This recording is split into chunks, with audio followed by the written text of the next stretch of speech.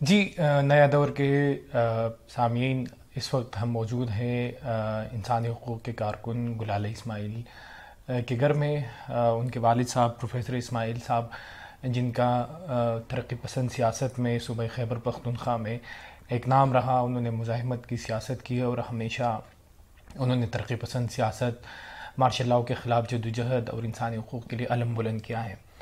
उनकी बेटी गुलाल इस्माइल, जो इंटरनेशनल लेवल पे बैन अवी सतह पे कई अवार्ड अवार्ड उन्होंने हासिल किए हैं।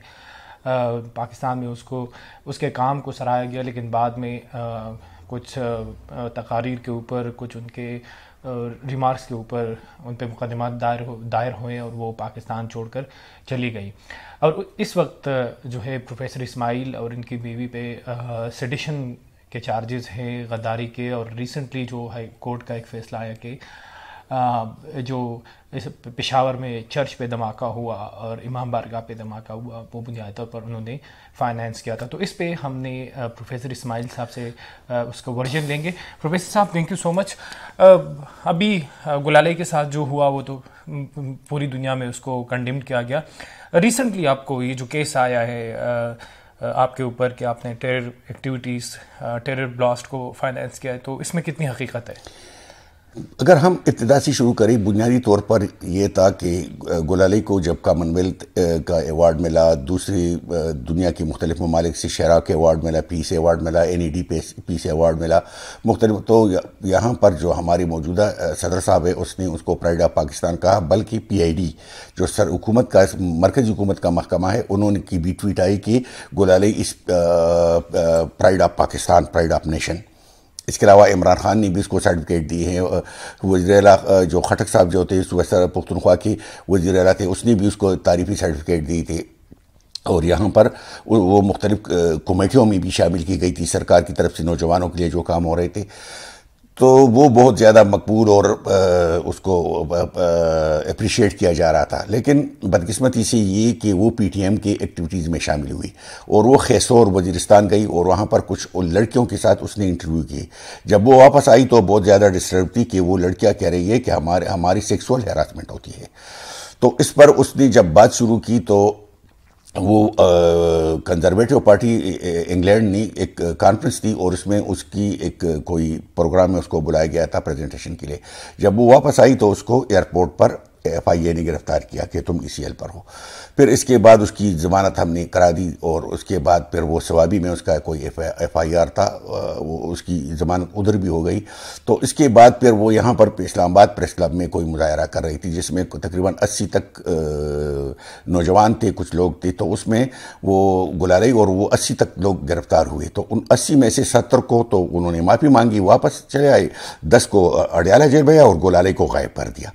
जब गुलारी को गायब कर दिया तो वो छत्तीस घंटे के बाद उसमें शरीन मजारी की मुदाखलत और इसमें इवन इमरान खान ने भी मुदाखलत की थी और वो वहाँ रात के बारह बजे छत्तीस घंटे के बाद बाजियाब हुई। इसके बाद यहाँ पर ये वाक़ हुआ कि एक छोटी बच्ची जो थी, पुख्तून आईडीपी इंटरनली डिस्प्लेस्ड जो बच्ची थी, वो यहाँ पर वो फरिश्ता नामी उसको रेप किया गया और उसको कत्ल किया गया। और जब उसके बाप, वालिद साहब और भाई पुलिस में एफ़ आई आर दर्ज करने गए तो उनको वहाँ पर उससे तानी की सफ़ाई कराई गई और उनको बैठाया गया बेजत किया गया और उनका एफ़ आई आर दर्ज नहीं किया। तो इस पर गुलाली ने उस पर एक मुजाहरे में शिरकत की और स्पीच की। तो जो ही उसने स्पीच की तो उसके खिलाफ खुराल ताने में चक्षाजाद ताने में और कई और दो तीन जगह उसके खिलाफ इस्लामाबाद में गद्दारी सिडेशन और जितनी आजकल ये एक सौ चौबीस एक सौ चौबीस एक सौ चौबीस एक सौ एक सौ बीस एक सौ चौबीस बी, इस किस्म के सारे सिडेशन गद्दारी दर गर्दी के सेवन एटी ये सारे दफात उसके खिलाफ लग गए। जब उसने देखा तो उसने अगले दिन अपने दोस्तों के साथ गई और वो स्वाद चली गई, फिर वहाँ से अमेरिका चली गई। अब जब इसी दौरान, इससे पहले, ये हुआ कि जब यहाँ पर एफ़ आई ए का जो एंटी टेररिज्म यूनिट है, उसमें उसकी एन जी ओज़ के खिलाफ उन्होंने इंक्वायरी की थी कि ये टेरर फाइनेंसिंग कर रही है। तो एफ़ आई ए की जो रिपोर्ट आई है तो उसमें उन्होंने गुलारे की एन जी ओ और गुलारे को बरी कर दिया कि उस पर हमारी तरफ़ से कोई इल्ज़ाम नहीं है। उसी को बुनियाद बनाकर यहाँ पर जब वो चली गई तो यहाँ पर हमारे घर में चापे पड़ने लगी। हमारा मोबाइल, लैपटॉप सीसीटीवी कैमरे ले जाए गए, फिर हमारे ड्राइवर को ले गए और हमारे ड्राइवर को बिजली की झटकी दे गई शॉट दिए गए, उनको उसको मारा पीटा गया, फिर उसको इस काम पर लगाया कि तुम जासूसी करोगे उनके, हमारे हमारे लिए मालूम दोगे। फिर एक हमारे साथ एक मीडिया का पर्सन गोलाले के पास आया करता था, उसको लाहौर से आ रहा था, उसको उठा लिया हफ़्ता एक हफ़्ता उसको अंदर कहीं रखा उसकी पिटाई की। फिर वो जब वो वापस आ गया, उसको तीस दिन की मोहलत दी थी कि तुमने हमें गुलाले के बारे में सब कुछ बताना है तो वो भाग गया अमरीका। उसके पास अमरीका का वीज़ा था तो वो भी चला गया।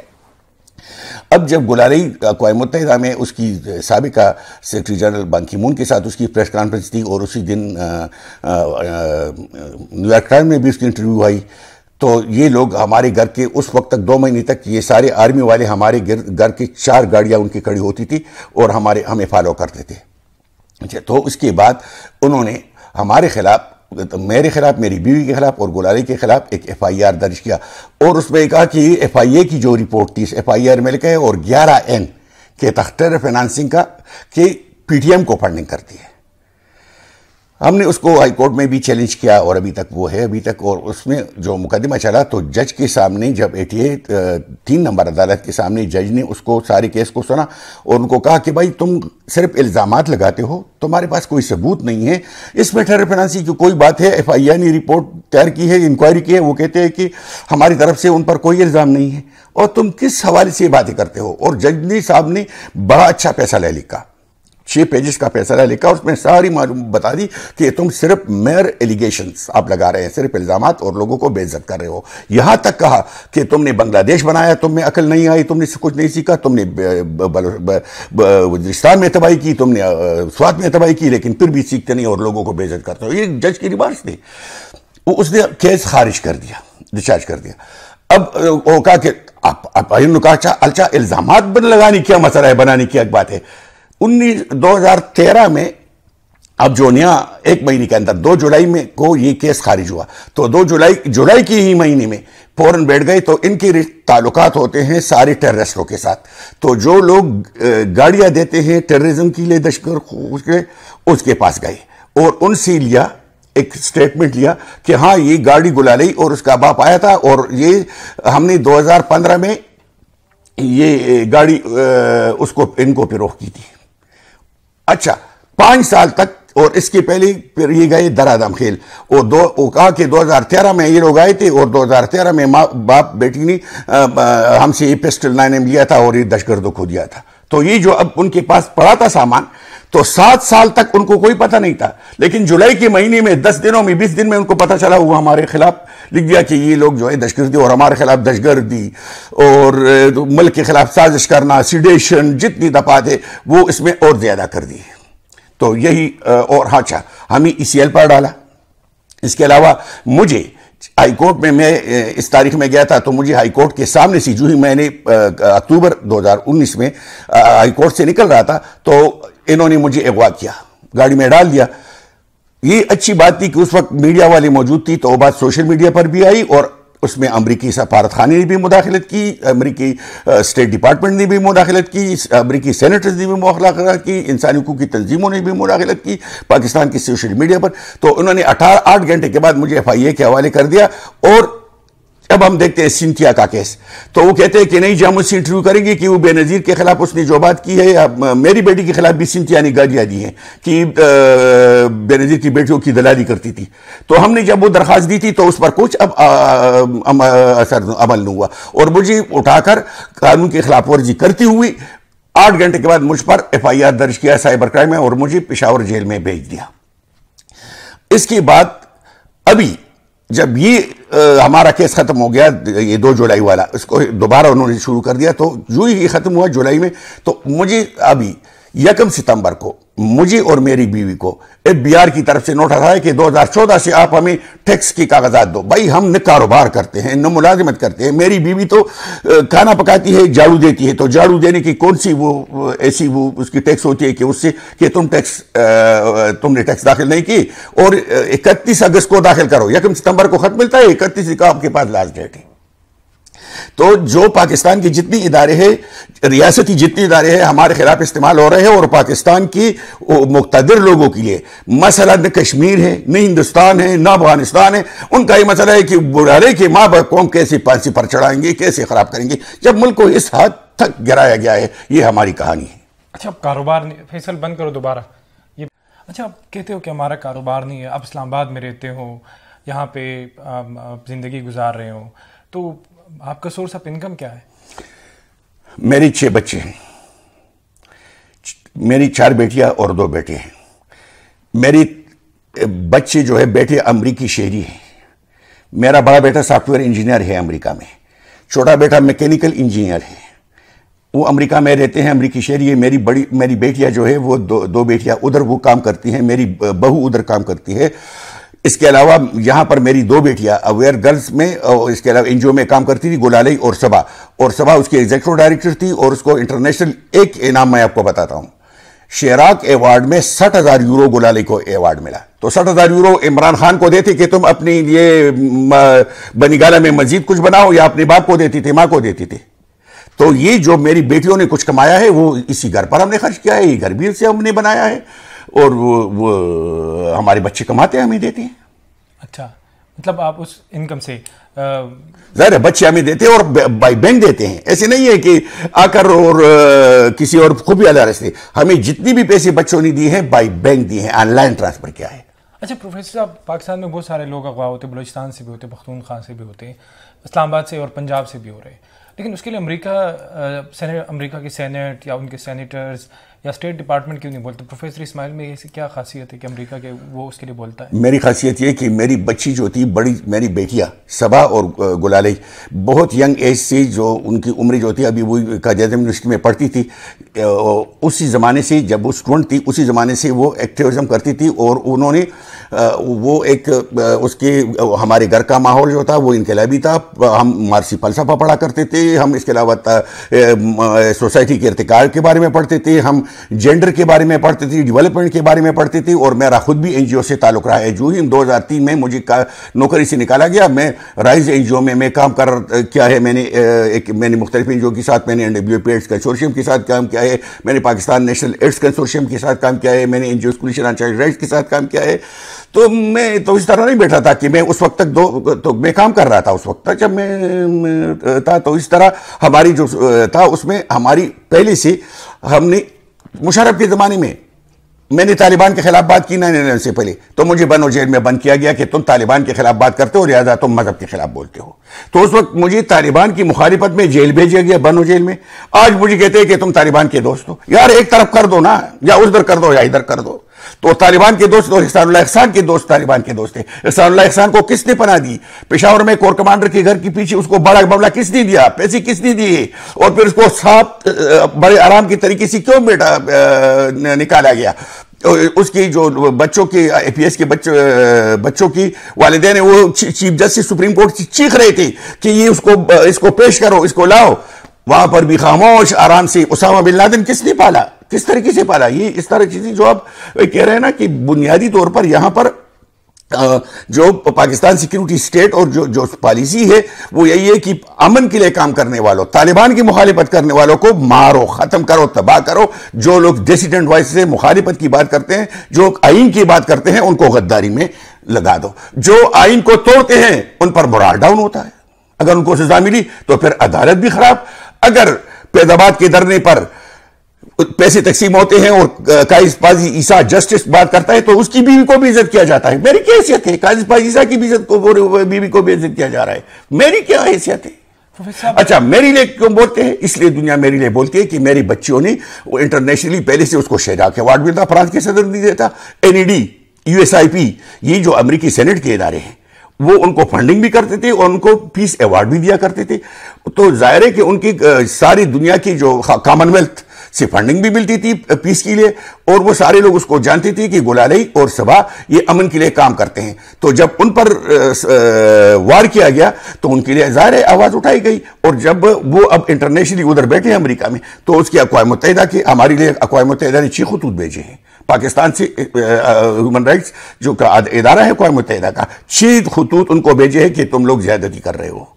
तो ज़ाहिर है कि उनकी ऑलरेडी अकवा मुतहदा में और इंटरनेशनली उनके रवाबित है और ये लोग जितना ज़्यादा हमारे साथ ज्यादती करते हैं तो सारे international human rights organization Amnesty से लेकर जितनी भी है तकरीबन 20-25 तक खतूत तो आ, पाकिस्तान को भेजे हैं मुख्तलिफ़ इंटरनेशनल ह्यूमन राइट्स ऑर्गेनाइजेशन सबके साथ उनके रवाबित है वो हमारे लिए बोलते हैं। प्रोफेसर साहब ये बताया ये रफाम में कहा जाता है कि अमेरिका में आप रहते हैं बरतानिया में रहते हैं वहाँ पे भी कोई कयूद मतलब कोई हदूद होते हैं कि आप रियासत के उन चीज़ों के ख़िलाफ़ नहीं बोल सकते आप ज़्यादातर मतलब जो फ्रीडम ऑफ़ एक्सप्रेशन है, वो इतनी हद तक नहीं है कि आप पेंटागन के ख़िलाफ़ बात करें या आप अपने इंटेलिजेंस एजेंसीज के ख़िलाफ़ बात करें। लेकिन आपके ख़ानदान, गुलाल इसमाइल पे और आप पे इल्ज़ाम है कि आप रियासत मुखालिफ है, इसमें कितनी हकीकत है?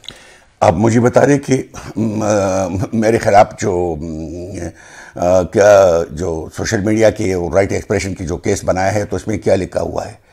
इसमें कौन कौन सी चीज़ें उठा ली गई है? उसमें कोई ऐसी चीज़ अभी बता दे कि वो रियासत के ख़िलाफ़ है कि मैंने पाकिस्तान रियासत, मैंने उसको पाकिस्तान के रियासत को नुकसान पहुँचाया है, या इसके ख़िलाफ़ बात की है? मैंने तो पॉलिसी के ख़िलाफ़ और आइन की बालादस्ती और बुनियादी अनसूख की जहाँ वायलेशन होती है, उसकी बात करता हूँ। अगर वो हिंदुस्तान में होती है तो मैं उसके ख़िलाफ़ भी बोलता हूँ। अगर वो इसराइल में होती है तो फिर मैं मुखालफत करता हूँ। अब इवन अमरीका में होता है, मैं मुखालफत करता हूँ। हम उसके ख़िलाफ़ बोलते हैं। बाकी, मुझे इससे क्या काम? कि अमेरिका में कितनी आज़ादी है, हिंदुस्तान में कितनी आज़ादी है कि नहीं, मैं तो अपने आइन की बात करता हूँ कि मेरे आइन ने मुझे जो हकूक दिए हैं, वो मुझे मिलने चाहिए और मेरे, मुझे बाकी दुनिया से क्या दिलचस्पी है? मुझे उससे कोई दिलचस्पी नहीं, क्योंकि न मुझे ये दिलचस्पी है कि हिंदुस्तान अच्छा हो जाए, न इससे दिलचस्पी है कि ईरान अच्छा हो जाए, सऊदी अरब में जमहूरियत आ जाए। नहीं जी, मुझे पहले अपने मुल्क से, कि मुझे अपने आइन के मुताबिक बात करने की और यहाँ के आवाम को वो हकूक दी जाए, यहाँ के आइन पर डाके न डाले जाए। तो ये बात तो मैं कहता हूँ कि आइन पर डाका न डालो तो अगर आइन पर डाका डालना, ये जुर्म है, और ये था, आप कहते हैं कि दुनिया में कहीं और नहीं बोली जा सकती तो ये दुनिया की बदकिस्मती है कि दुनिया में इसके या अमरीका में या बरतानिया में ये आज़ादी नहीं है कि भाई इंसानी हकूक का ख्याल रखो। एक बंदा मरता है ब्लैक तो उस पर सारी, सारा अमेरिका लरसता है। क्या बात करते हो कि वहाँ क्या नहीं है? यहाँ पर देखो, एक औरत की को रेप होती है और उसकी गिरफ्तारी से पहले उस आदमी की तस्वीर दिखाई जाती है। अब वो गायब है तो इस सारे आईजीपी से लेकर वो जिरादा तक इसको इसके साथ क्या करना चाहिए? इनको फूल पेश करने चाहिए कि जी बड़े बहादुर हो, बड़े होशियार हो, और ये आइन में तो पाकिस्तान की रियासत तुमसे ज़िंदा है, लिहाजा ये हार पहनो। या ये कहेंगे कि इनको सजा दो। जब हम कहते हैं गलत क्या है तो कहते हैं कि ये रियासत के खिलाफ है। यहाँ पर रियासत कौन है? यहाँ पर रियासत पोलिटिकल साइंस में तो हमने ये पढ़ा है कि रियासत बनती है अदलिया से, पार्लिमान से, और हुकूमत से। तो यहाँ पर तीनों को खत्म करने वाली तीनों पर छड़ने वाले को रियासत कहते हैं कि जिनको तीनों को काटे वो रियासत बन जाती है। और कहते हैं कि जी इसके बात करोगे तो तुमने रियासत के खिलाफ बात की और हम भी उसके खिलाफ बात नहीं करते। हम तो कहते हैं कि भाई और मैं और मे, मेरी बीवी क्या बोलती है? चलो मैं खराब आदमी हूँ गुलाली खराब है। मेरी बीवी तो घर की सफ़ाई करती है अनपढ़ औरत है वो क्या करती है कि उसके खिलाफ गद्दारी और ये ससिडेशन और ये लग गए? क्योंकि उसको अपनी बेटों ने अपनी बेटियों ने घर के खर्ची के लिए पैसे दिए। उनकी शादी थी कि उन मेरे लिए कपड़े खरीदो तो उसने वही कपड़े ऑनलाइन खरीदे हैं। तो कहते क्यों? ये उन्हें पैसे दिए ये ये क्या बात हुई? तो ये इमरान को उसकी बीवी ने क्यों पैसे दिए? उसको इतना घर क्यों क्यों दिया? उसको भी फांसी पर चढ़ाओ ना जब मुझे चढ़ाते हो। उसको भी चढ़ाओ ना। जब मेरी बीवी को चढ़ाते हो तो उसको भी पकड़ो थोड़ा सा। अच्छा ये भी कहा जा रहा है कि जब ये आ, मतलब पाँच साल पे इमाम बारगाह का वाक़ हुआ, वो अटैक का और चर्च का वाक़ उस वक्त शायद आप मुल्क में नहीं थे? नहीं, मैं, इन्होंने वो तारीखी निकाली है असलाह लेने की। जब वो चर्च का धमाका हुआ तो मेरी बीवी और मेरी बेटी वो न्यूयॉर्क में थे और वहाँ पर उन्होंने उस के खिलाफ और तालिबान के खिलाफ अकवा मुतहदा के सामने मुजाहरा किया है। अच्छा तो इसमें मतलब जो रियासत ने इल्ज़ाम लगाया आपके ऊपर? रियासत ने नहीं इल्ज़ाम लगाया। रियासत कौन कहाँ है? रियासत नहीं बल्कि हुकूमत के कुछ लोगों ने इल्ज़ाम लगाया है जो जिनको बताया गया है यहाँ पर उन्होंने कहा एजेंसियों ने इल्ज़ाम लगाया भाई उन्होंने अदालत को बताया एजेंसियों ने इल्ज़ाम लगाया है। एजेंसियाँ रियासत नहीं होती।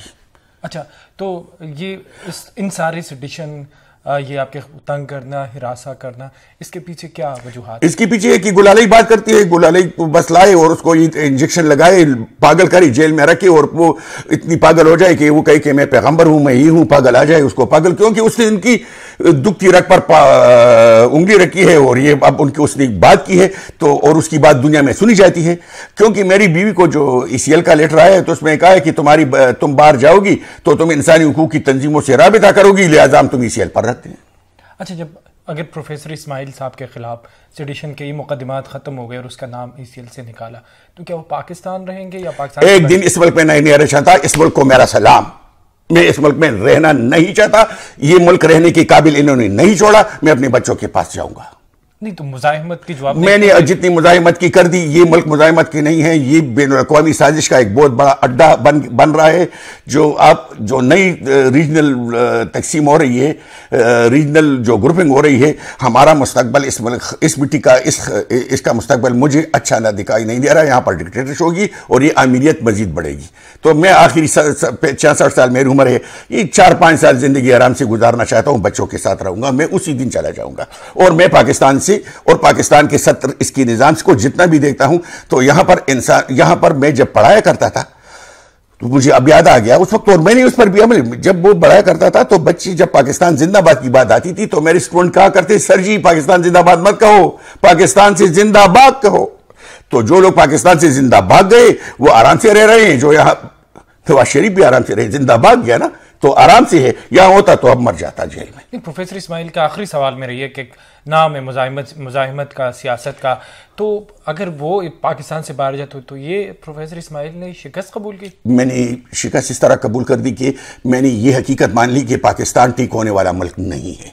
मैं इसको ठीक नहीं कर सकता, न इसको दूसरे लोग आप ठीक कर सकते हैं। इसमें हम इसी तरह ये अमल रहेगा, ये हम जलील होते रहेंगे। यहाँ शहरी जलील होते रहेंगे, यहाँ इंसानी हकूक के कारकुन गायब होते रहेंगे या इंसानी हकूक के लोग का काम करने वाली को जलील किया जाएगा, यहाँ सियासी वर्करों को जलील किया जाएगा और जलील किया जाता रहा। है। तो यहाँ पर मुझे अब पाकिस्तान से की ठीक होने की मुझे कोई उम्मीद नहीं, लिहाजा मैं यहाँ नहीं रहूँगा। जी, नायदा और के सामीन ये थे इंसानी हकूक़ के कारकुन गुलाली इस्माइल के वालिद प्रोफेसर इस्माइल साहब, उनकी आरा आपने सुनी उनके जो सजेशन थे, उनकी जो, उसके साथ जो हुआ सडिशन पे और सबसे इंटरेस्टिंग बात यह कि अगर प्रोफेसर इस्माइल या गुलाल इस्माइल बाहर जाते हैं मतलब चौक में एहतजाज करते हैं या कोई ट्वीट करते तो सबसे बड़ा सवाल यही उठता है कि उनकी जो वालदा है, वो एक प्राइमरी तक या उससे कम पढ़ी लिखी है और उसने कोई मुजाहमत की सियासत में कोई किरदार अदा नहीं किया। और ये भी एक इंतहाई काबिल तशवीश बात है कि पाकिस्तान जो हमारा मुल्क है और जिन्होंने आगे जाना है, यहाँ के महजब और बाशूर शहरी अब इस पे मजबूर हो चुके हैं कि वो इस मुल्क से जाना चाहते हैं। तो ये मुल्क के लिए बहुत ज़्यादा तशवीश की बात है। Thank you so much